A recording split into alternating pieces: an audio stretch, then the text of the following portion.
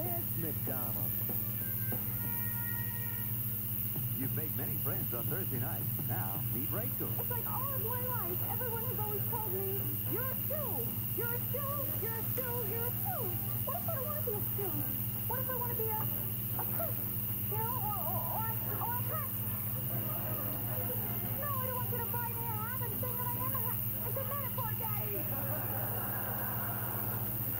You can see where he had trouble. Friends, Thursdays this fall on NBC. This week, TV Nation buys a royal title. On your knees, buddy. Will the Brits accept their new lord? This card's good for one free drink. TV Nation, NBC Tuesday. This week on Today, the latest from the baseball. No. Also, two stories of the Kennedy women, and in honor of Woodstock, Joe Cocker. So join us this week. And see what a difference today makes.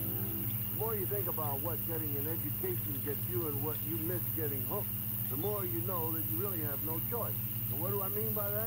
Well, you can do school or you can do drugs, but you really can't do both. Now, if you do school, you get to go as far as your talent can take you. If you do drugs, you get to go nowhere. And maybe get AIDS, get busted, even get killed in the bargain.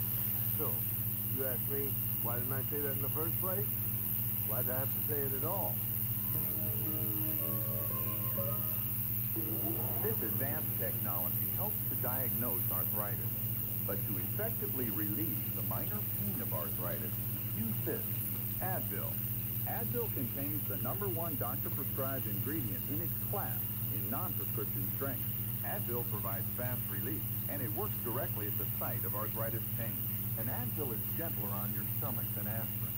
So for minor arthritis pain, trust Advil. Advil, advanced medicine for pain. We all know granola straight, but there's another side. Jack Schmidt having a few problems. Hang on. Yeah. Kellogg's low-fat granola. For today's granola fans, great taste, half the fat. I'll give you a demonstration here, Joe. Roger, right on. Here, Joe. Spectacular demonstration.